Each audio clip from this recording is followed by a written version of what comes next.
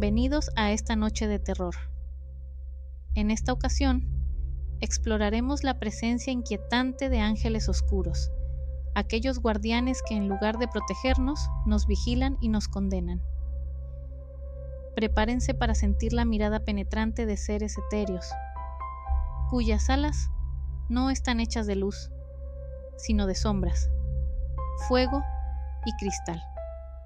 Ajusten sus audífonos apaguen las luces y déjense envolver por estas historias que desafían nuestra concepción de lo celestial. ¿Están listos para enfrentar a los ángeles que acechan en la oscuridad? Desde niño siempre creí que tenía un ángel de la guarda. Mi abuela solía decirme que cada vez que sentía un escalofrío era porque mi ángel estaba cerca, protegiéndome, pero a medida que fui creciendo, esa idea se convirtió en un consuelo tonto, una historia para niños. Hasta que una noche, volviendo del trabajo, lo sentí de nuevo. Era un escalofrío helado, tan intenso que me detuve en seco. Entonces lo vi, parado en la esquina, a la sombra de una farola. Sus alas eran enormes, pero no eran blancas y puras. Eran oscuras, casi negras, con plumas afiladas como cuchillas. Su rostro no tenía expresión, pero sus ojos... Sus ojos eran pozos sin fondo que parecían absorber toda la luz alrededor. No pude moverme. Sentía una presión en el pecho, como si algo invisible me apretara el corazón. El ángel dio un paso hacia mí y pude ver que sus pies no tocaban el suelo. Su voz resonó en mi cabeza una mezcla de mil susurros y gritos. No te estoy protegiendo de los peligros externos, te estoy vigilando a ti para que no te conviertas en uno. Desde esa noche, su presencia es constante. Sé que está ahí, vigilándome, no como un guardián, sino como un carcelero, asegurándose de que no me desvíe. Y cada vez que siento ese escalofrío, recuerdo que no hay escapatoria de su vigilancia.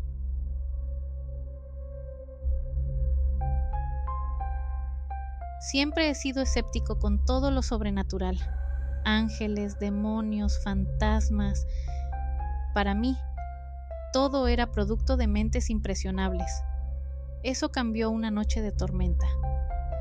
La electricidad se había cortado y solo tenía la luz de las velas para alumbrar mi camino. Fue entonces cuando lo vi por primera vez.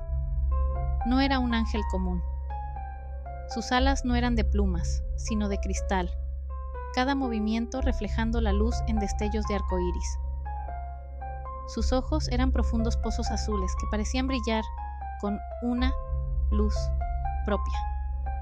Su cuerpo, aunque humanoide, tenía un aura etérea, como si no perteneciera a este mundo. Intenté convencerme de que era una alucinación, una jugarreta de mi mente cansada. Pero cuando el ángel extendió una mano hacia mí, supe que era real. Su toque era frío, más frío que el hielo, y su voz resonó en mi cabeza como un trueno. No deberías estar aquí. Desde esa noche he sentido su presencia en cada rincón de mi casa. No hay lugar donde pueda esconderme de esos ojos penetrantes. Intenté mudarme, pero siempre aparece, recordándome que no hay escapatoria.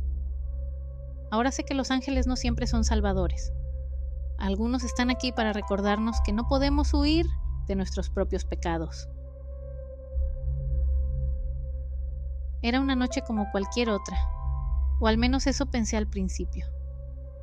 Estaba solo en casa disfrutando de una copa de vino y una buena película. Fue entonces cuando lo sentí, una presencia, algo que no podía ver pero que sabía que estaba ahí. Al principio lo ignoré, atribuyéndolo a mi imaginación, pero entonces lo vi, de reojo, parado en el rincón de mi sala.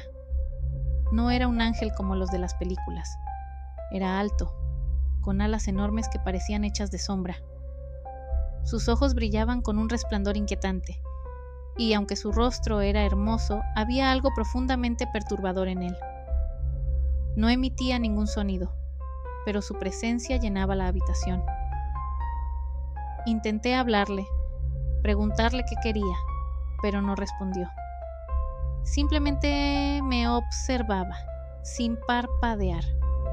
Su silencio era ensordecedor, y cada segundo que pasaba me sentía más y más incómodo. Sentí como si estuviera siendo juzgado, como si cada uno de mis pecados estuviera siendo sopesado. Pasaron horas antes de que finalmente desapareciera, desvaneciéndose en la oscuridad. Pero su presencia nunca se fue realmente. Ahora, cada vez que estoy solo, siento sus ojos sobre mí, juzgándome, esperando. Y sé que un día, cuando menos lo espere, volverá. Siempre creí en los ángeles de la guarda, esos seres celestiales enviados para protegernos. Pero nunca imaginé que el mío sería diferente. Fue una noche de insomnio cuando lo vi por primera vez. Estaba en la esquina de mi habitación, sus alas enormes formadas por nubes de humo negro, girando y retorciéndose a su alrededor. Al principio pensé que estaba soñando, pero cuando parpadeé y seguía allí, supe que era real. Me observaba, y aunque su rostro era hermoso, había algo en él que me llenaba de terror. Intenté hablarle, pero mi voz se quebró en un susurro. Él no respondió, solo me miró con esos ojos oscuros. Pasaron semanas y su presencia se hizo constante. No importaba dónde estuviera, Siempre lo sentía, cerca, vigilándome. Un día no pude más y le pregunté por qué me seguía. Su respuesta resonó en mi mente como un trueno. Estoy aquí para protegerte de ti mismo. Desde entonces, mi vida ha cambiado. Cada decisión que tomo, cada pensamiento que tengo, siento su juicio. No hay escapatoria de su vigilancia y cada noche, al cerrar los ojos, sé que está allí, recordándome que incluso los ángeles pueden ser oscuros.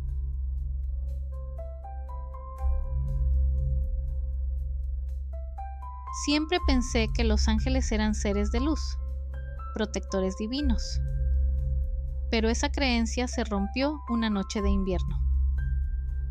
Estaba caminando por un parque cuando lo vi parado bajo un árbol, sus alas enormes parecían estar hechas de sombras puras, absorbiendo la poca luz que había a su alrededor. Su rostro era hermoso pero perturbador, con ojos que brillaban con una luz siniestra. Me acerqué, movido por una curiosidad inexplicable. Cuando estuve lo suficientemente cerca, vi su rostro. Era hermoso, pero sus ojos eran dos abismos oscuros que parecían ver a través de mi alma. Antes de que pudiera decir algo, él habló. Su voz fue apenas un susurro que resonó. He estado observándote. No entendía lo que quería decir, pero el miedo se apoderó de mí. Intenté alejarme, pero mis pies parecían pegados al suelo. El ángel se acercó, sus alas envolviéndome en una oscuridad helada. No hay escapatoria de tus pecados, dijo, y su voz era como un eco de mis peores temores. Desde esa noche he sentido su presencia constantemente. No importa dónde esté o lo que haga, siempre siento esos ojos oscuros sobre mí, juzgándome, recordándome mis errores. Y cada vez que veo una sombra, sé que está cerca, esperando el momento para arrastrarme a su oscuridad eterna. Y así cerramos este escalofriante capítulo de nuestro viaje al mundo de los ángeles oscuros. Recuerden, no todos los ángeles vienen a salvarnos. Algunos están aquí para recordarnos nuestros peores temores y pecados. Esperamos que estas historias hayan despertado sus sentidos y les hayan dejado una sensación de inquietud. Hasta la próxima. Mantengan los ojos abiertos y el corazón firme, porque nunca sabemos cuándo un ángel de sombras podría estar observándonos. Buenas noches y dulces pesadillas.